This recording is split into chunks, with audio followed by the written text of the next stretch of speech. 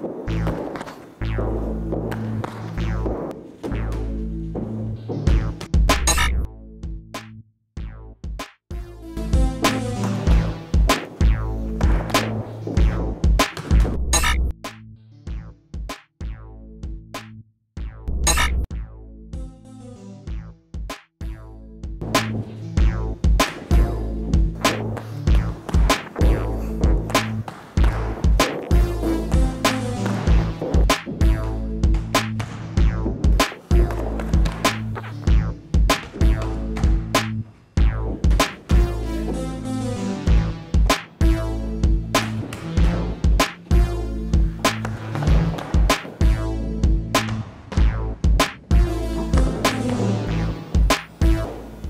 video, I'm going to do a video on Southpaw versus Orthodox. So these are tactics that a Southpaw can use against an Orthodox fighter and vice versa, an Orthodox fighter can use against a Southpaw fighter. And I've done a video on this in the past where I gave you a couple tactics, and today I'm going to give you a few more. And I'm going to bring in my boxer, Paul Palumbo, my amateur boxer Paul Palumbo to demonstrate. Paul's a, Paul's a Southpaw. So I'm going to be the orthodox, he's going to be the southpaw. So the first demonstration that we're going to show you is going to be how to parry that jab and take the angle at the same time. So the key is, is like I said, we're in our stance, heel-toe stance, we're boxing against each other, okay? And we're fighting for position. I'm trying to get out here and I'm touching, uh, I'm working his lead hand to try to get, and what he can do is, when if I, if I, if I touch his hand or whatever, if I throw the jab, it doesn't matter. What he's doing right, what he's trying to do is he's trying to parry my jab. At the same time he parries my jab, he's going to step to his right and he's going to take an angle and then he's going to be able to throw the right hand. He's going to get that angle, be able to throw that right hand right over top of my, of my jab and he's going to push my jab aside so again, like I talked about parries, he's pushing my jab aside instead of slipping it, so it has longer time to recoil. So he can make that angle and counter punch me with the left hand. So when I throw the jab at him, he's going to step over and, and shoot, his, shoot his straight left hand right down the middle. For video purposes, I'm catching that. But if I have my hand here, like I always talk about my videos, your hands, you, you don't want your hand on the side of your head, okay? Against the southpaw, this is a really good reason why you don't do that. So your hand is here, see? So I can catch. But anyways, he's throwing a jab, okay? And when he's parrying that, he's stepping at the same time. So he's taking his foot and he's stepping like that. He's stepping like that and throwing the left hand right over the top. He's stepping and he's throwing the left hand right over the top. He's going to step and shoot. That's it, just like that. So if I'm boxing him, that's why I said it's all about when I show you these things, it's about mastering them. And then you have to have anticipation and timing. You have to have all the things that make a great fighter because it doesn't, it doesn't mean just because you know that move that the other guy can't do the same thing to you. So it's who masters it better and who's the, who is the better technician and who has the better reflexes and timing. There's a lot of things that go into this. So we're battling on this and let's say he throws a jab at me. I could do the same thing. See, I parry that jab. I got my heel toe stance, my trajectory. He's going to reach with that jab to hit me. At the same time he's, he's doing it, I'm parrying it. I'm parrying it that way and I'm throwing my right hand. So he throws the jab and I step out at the same time. I parry, and I'm going to step out with my left foot, and then I'm going to throw the right hand. I'm going to twist with my right foot. So when he throws that left hand, I step out, and I get that angle. I'm sliding that right hand right over the top, right on the inside of his shoulder, and right, right down the pipe. And I'm pushing his hand here so I can get that angle where he's also he's getting hit with a shot that he has to pick up with his peripheral. So it's making it more difficult for him to see the punch as well. Okay, so he throws the, he throws the jab, and I throw the right hand. Now, we can show you from the other side, both of us doing the same move from the other angle. And I throw the jab at him, and he's parrying it. That's it. He's parrying it, stepping out, and shooting the left hand. He's parrying it, shooting the left hand. That's it. When he parries my jab, my jab's going to go over this way. See? He's going to go over this way and throw it. Now, he could just slip my, slip my left hand, okay, and throw that left hand. he could slip my jab and throw his left hand. Boom. See, he could do that. But the parry, like I said, it gives you a little bit more of an angle because you're turning the guy and it stops him from recoiling. And that's why mastering parries can be very, very good if you're really good at it, okay? And it's not about swatting at the punch. It's all about just, so like when he did that to me, now watch how I do it to him. See? I'm gonna, when I take that hand, I'm just, I'm just softly touching it and turning my shoulders at the same time when I step and I'm throwing the right hand. So it's all synchronized together. When I throw it, when he, I don't, I don't parry, go parry. I don't do that, step over and punch. When I, when I feel like I'm anticipating that jab or I see him, he throws a jab and I can, I can feel his pattern or his rhythm and I feel that I'm in a rhythm and I can, get, I can, I'm going to synchronize everything together. See, he's in a rhythm, I'm in a rhythm, but I'm feeling his rhythm. He throws that jab and I step over and shoot at the same time. He throws it, same time, synchronized together. Jab step. Jab step. He throws a jab, I parry step. Parry step. Parry step. Parry step. That's it. So that's how that works. Uh, that's a beautiful tactic to be able to, if, you're, if you use your parries and you learn how to master how to parry punches, there's a great, great tactic right there that you can, an orthodox fighter can use against a southpaw, and a southpaw vice versa can use it against an orthodox fighter. So we'll go into the next tactic, and this one is learning how to, just like we parried the jab with the lead hand, you can also parry the rear hand with the lead hand, okay? So his lead hand's his right hand. I'm throwing a jab. So I could throw a jab at him and he could parry it. Now let's say this time he doesn't step out. He parries it, okay? He parries it. I throw the right hand. He parries that as well, okay? So he throws, I throw a jab. I throw right hand. He parries and he comes right back with his left hand right over the top, okay? So he, he's going to parry my jab, parry my right hand, throw the left hand. Parry the jab, parry the right hand, throw the, throw the, throw the left hand. Beautiful. Okay? So when he does that, he can do two different things he can do with that. He could just stay right in the pocket. again, I could do the same thing. Like when he throws the jab, I can catch the jab. I, he can throw his left hand. I can catch the left hand. I can shoot right over the top.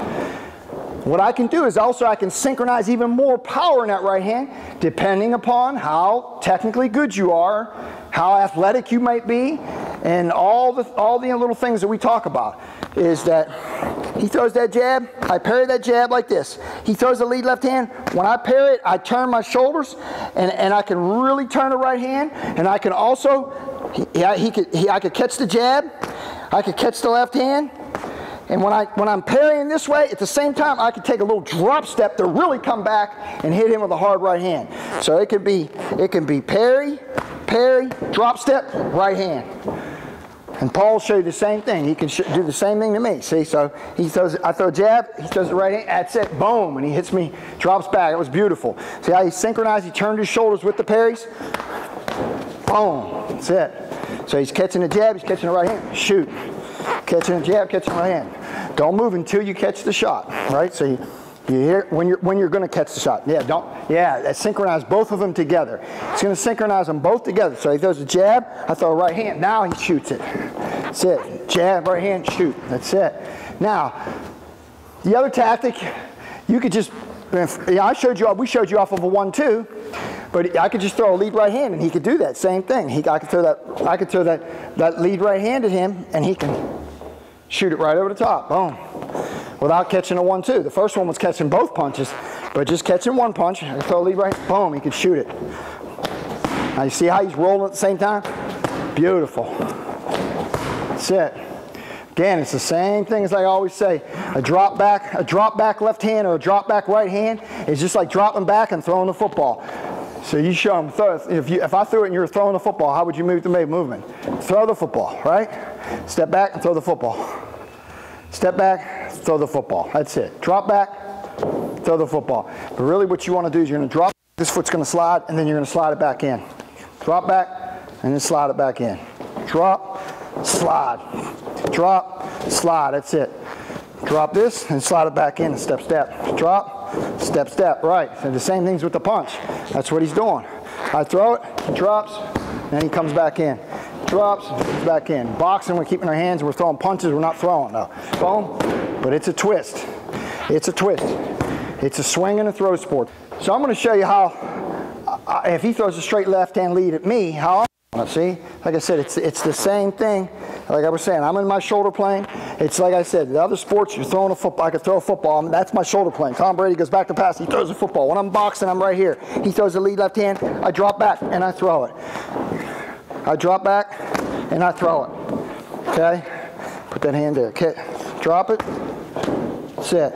So if I was throwing a football, throw the football, go throw it. I'm, I'm stepping back to pass, then I'm throwing a football. With a punch, I'm just dropping back, I'm dropping back, and I'm throwing a punch. I'm dropping back, and I'm throwing a punch. Dropping the back, and I'm throwing a punch. I'm dropping back, and I'm throwing a football. It's the same, it's the same twist. Do it again. Drop Dropping back, and I'm throwing the football. I could do drop back and throw the football. Do it again drop back, throw the football. Okay? So what you're trying to, what I'm trying to show you there is that if you understand mechanics of swings and throws in other sports, this stuff could come a lot more natural to you. A lot of times, people in boxing, as a boxing fraternity, I don't know where this has come from, but we try to make this way more complex than it is. If a guy knows how to swing a baseball, swing a, swing a bat, or throw a football, or swing a tennis racket, you have an advantage right from that from when he comes in the gym if he if you know he's played those other sports or if you ask him then you can use that foundation to develop his punches as well it's going to it's the position that you're in is the same position that you're going to be if you throw a football if you swing a bat if you swing a tennis racket. So all those things are the same. So that's something that, like I said, you can, if you have a, a, person that comes new in the gym and they've done those other sports, you can build off of that foundation. Instead of just complexing everything for them, you can build off that foundation that they already have. What I'm going to do now is I'm going to show you guys how we can work that drill. So if you guys want to work that with somebody else on the pads, you can do it on the pads as well. So now I'm going to show you how you can do that drill and that demonstration that we were showing on the pads. So you could have one person be working the pads, the other person could be working on that demonstration that we showed. And so right now I'm going to work the pads for Paul. I'm going to be working the mitts and he's going to work on that punch on the first demonstration that we did. So I throw the jab at him, he's going to step out and he's going to be able to throw the, the left hand straight down the middle, right on the pads. I'm catching it with my right pad. I'm throwing a jab at him, he's stepping out and he's throwing the left hand. So go ahead, throw it, show him now. That's it. Just like that. That's it.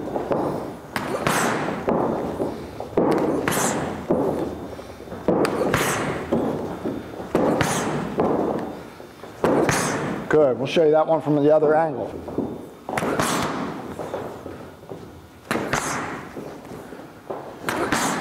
So now we're going to show you from the other angle the second demonstration that we showed when I throw a jab and a right hand at him. So he's going to throw I'm going to throw the jab and the right hand at him. He's going to parry the first one, parry the second one, throw the left hand. He's going to throw his left hand to my left pad. The last time when he made that move, he threw his left hand to my right pad. So now I throw, I throw a jab at him, I throw a right hand at him. He parries them both with his lead hand, and then he comes back with a left hand right to that pad, uh, right to the, to the left pad. Okay, he's gonna he's gonna I'm gonna block there. I throw the right hand at him. He's gonna block that. I'm gonna bring this left hand back to position to catch his left hand. So I throw my left hand, he parries it, I throw my right hand, I, bring my left hand back to catch his left hand. So jab, right hand, that's it. There you go.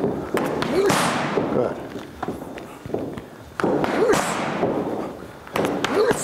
So now, like I said, what Paul can do is he can synchronize that block and he can take a little step back as well. He can synchronize that black the, that block with his shoulder turn and his step back all synchronized together. So I throw the jab, I throw the right hand, there he goes. See what he did? He dropped back. Now he's going to come back and throw that left hand back to my left pad again. Drops. That's it. Okay? So that, that will show that one from the other angle.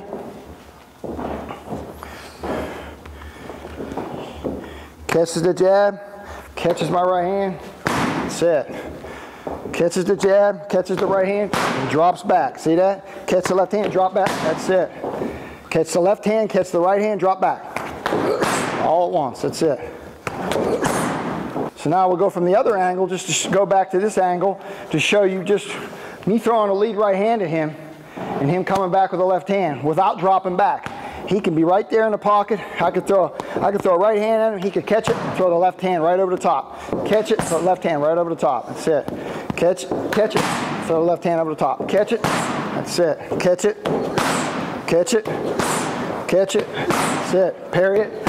He's parrying it. That's it. Now he could drop back. Like I said, again, he could drop back and really be able to hit it even harder with that. He could synchronize everything together. When I throw the right hand, he's dropping back. Now he's really coming with that. That's it.